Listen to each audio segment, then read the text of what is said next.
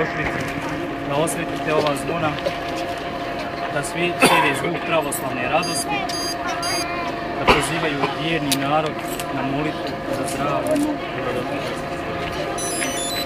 Pomozi Bog, srećan vam praznik i srećan vam ovaj radosni dan osvjetljenja zvonava. Zdravlje,